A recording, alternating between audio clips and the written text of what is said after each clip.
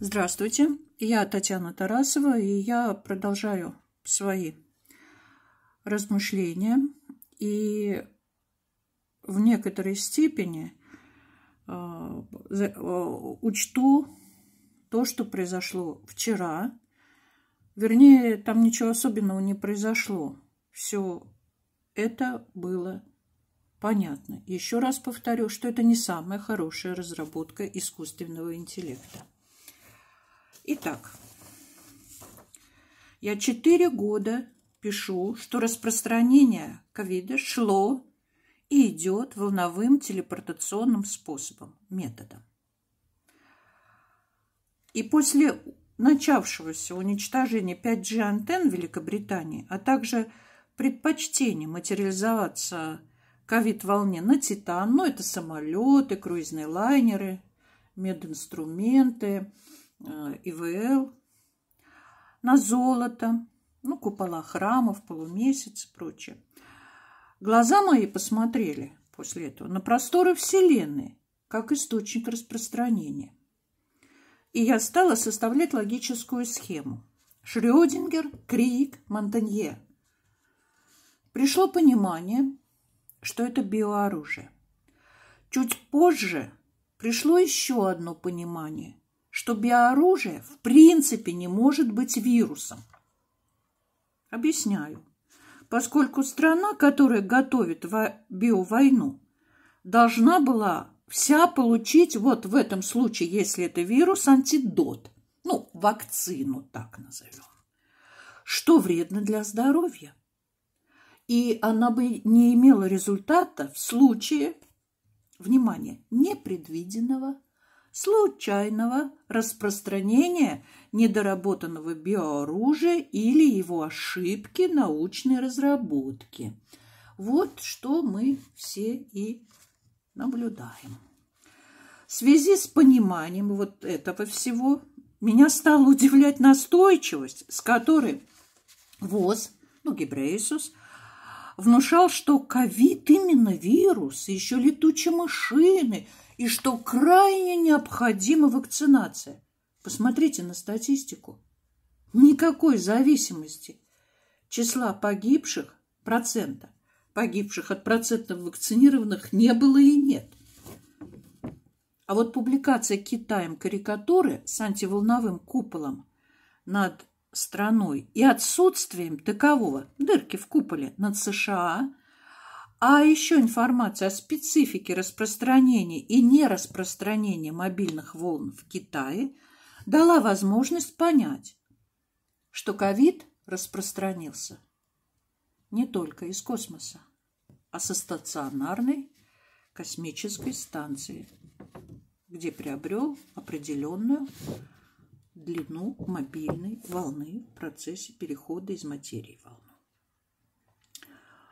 а также информация о прекрасном урожае помидоров черри на МКС и таком же и там же развитии микробов направила мой мозг тоже туда же, на МКС. Непрерывные полеты космонавтов РФ и других стран, правда, на МКС, непрерывные выходы в космос, информация о разгерметизации, об утечках – и, в конце концов, о микробах на ошибках МКС стало окончательным подтверждением, что ковид и есть следствие ошибки научной разработки, как писал Джеффри Сакс. Ну, а я склоняюсь к другому мнению, к аварии.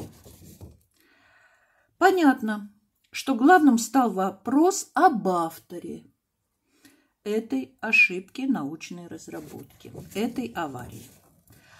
Я внимательно следила за развитием ситуации все эти четыре года, подкрепляя повторением и изучением трудов великих ученых, исследования и достижения которых легли в основу не только тонкостей создания биооружия, а в котором были два компонента вот в этом ковиде – Молекулярная биология – это физоружие, физическое, это болезни.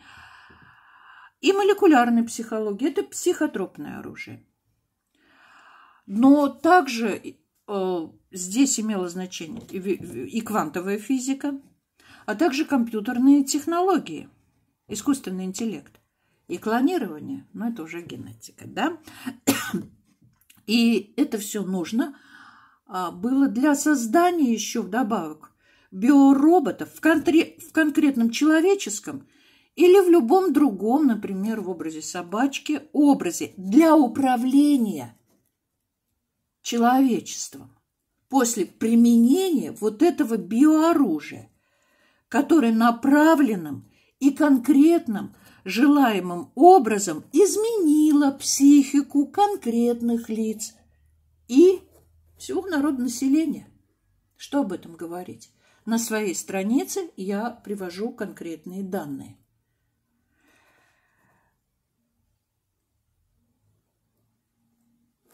Я подхожу к главному. Психотропное оружие применялось давно. С огромной болью я написала о том, что вот непосредственно знаю, непосредственно наблюдала то, что составляет мое огромнейшее, огромнейшее горе. Вот. А, это МГУ, ректор, студенты. Я об этом и здесь, на Ютубе, только что рассказала. А теперь, вот пример другого применения психотропного оружия. Оно, с одной стороны, не привело ни к одной смерти, ни к одному выстрелу. Это, например, голосование на полуострове. Вы помните, более 96%. Простите, э, там не было электронного голосования, которое, понятно, можно подделать как угодно. А там были наблюдатели. И там с ночи занимали люди очередь, чтобы э, проголосовать за вхождение в состав России. И поэтому давайте не будем удивляться вот этим 80%, там 79%, а также не будем удивляться проценту проголосовавших за вхождение в, в РФ а, жителей там ДНР, ЛНР.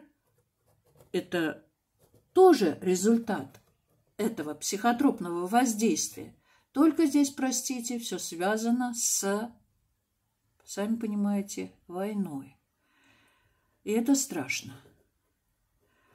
Вот. И понимаете, что здесь вот эта разработка э, искусственного интеллекта, да, она очень тонкая. Хорошо, освободят там, я не знаю, Мариуполь, там, да, вернее, не см... Э, займ... Э, Украина, да, освободит свои территории, Крым освободит. А что с народом будет делать? Ведь народ не изменился. Ведь он же под этим же воздействием и будет до конца своих дней. Представляете? Вот абсурд. Вот здесь э, я понимаю, что Григорий Алексеевич Явлинский не знает э, тонкостей, не знает ничего о психотропном, воздействии, о биовойне. Я устала писать об этом, что это самое главное, что происходит. Не огнестрельное, никакими деньгами, никакими дронами, ничем нельзя будет победить. Победит психотроп. Вот. И это мы видим. Но то, что войну вот взять и остановить, это было бы правильно.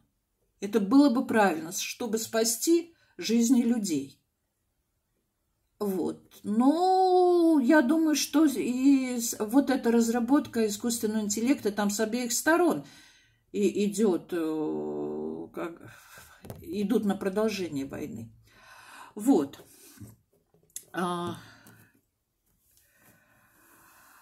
и вот это моя тема, назовите его по-другому, это не его террор. Это не он начинал войну, это разработка искусственного интеллекта. И вот эта э, мощнейшая, мощнейшая разработка, она в мозгах. И это не важно, э, что это есть, видеоверсия, клон или тот же человек. Дело в том, что у него другие мозги.